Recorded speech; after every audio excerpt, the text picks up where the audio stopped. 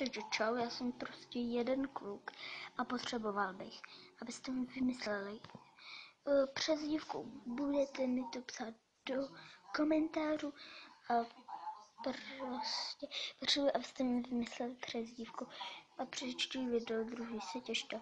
Tam budu s mým kámošem, budeme natáčet challenge. Třeba Bubble Challenge a takhle. Tak zatím čau a vymyslel jsem mi tu, pís- tu přezdívku. Čau.